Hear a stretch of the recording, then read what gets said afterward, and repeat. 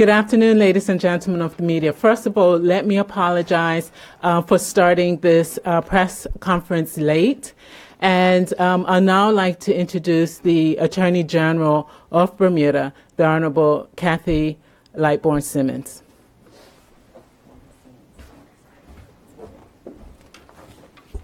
Good day, everyone. I'm here to advise that the District Court of Massachusetts has come to a decision in the case that was brought against the Lahey Clinic by the government of Bermuda. I must say from the outset that the result is what I had anticipated from the beginning. However, given the politically charged nature of the case, and as Attorney General, the decision to proceed had to be based on sound legal principles, logical analysis, and by an independent assessor, devoid of any political influences. It was of paramount importance, especially in light of the impending international assessment, that Bermuda affirms itself as a mature financial center where sound legal decision making is based on the rule of the law.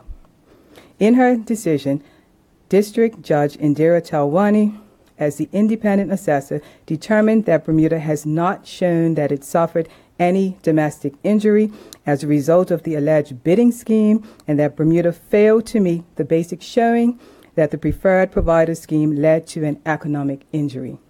Consequently, Judge Talwani found that as Bermuda could not show that it suffered any injury within the United States as a result of the alleged scanning scheme, Bermuda's claims under the Racketeer Influence and Corrupt Organizations Act arise out of extraterritorial injuries and must be dismissed.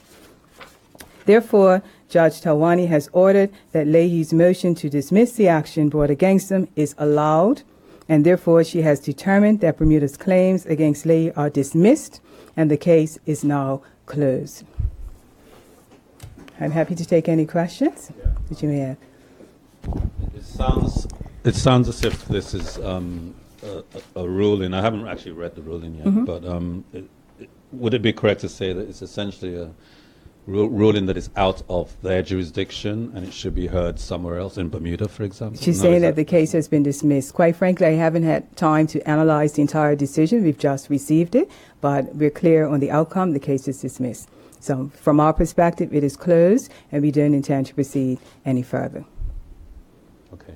When you use words words like extraterritorial, um, it's it does sound like a jurisdictional issue. But I'll ask another question.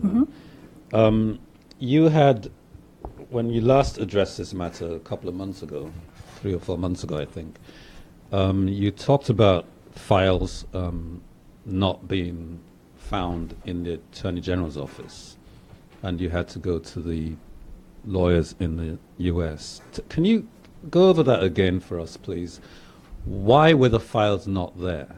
Do you know? Did you I can't that speak. out? I can't speak to the administrative procedures that govern that. I can only repeat what I told you on a previous occasion that when I took office, there were no files related to this case, and so we were charged with responsibility to get them in from the overseas attorneys, which we have done. We've undergone that process throughout this matter, and I'm satisfied that we have most, if not all, of them, and we will continue that Given the conclusion of this at this stage, we will make sure that for the record, all the property of the governor of Bermuda has been returned.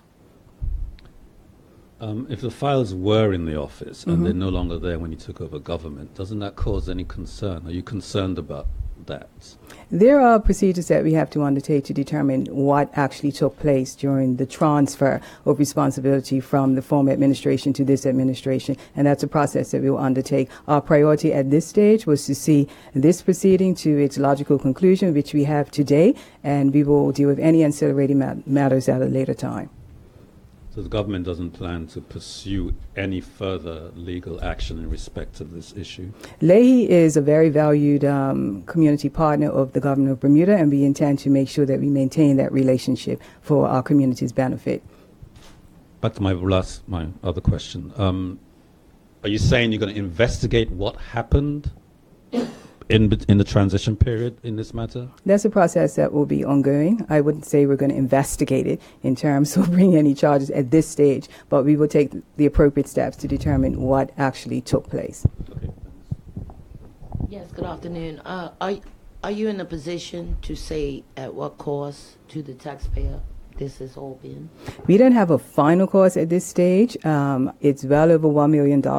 Um, and so we will come back with a definitive cost on that. I think it's important that the public know what the costs surrounding these proceedings are, but we will certainly come back. But at this stage, I'm not prepared to definitively give you um, a figure. You stated the words politically charged case. In hindsight, being you're the successor to the man who orchestrated this, any views?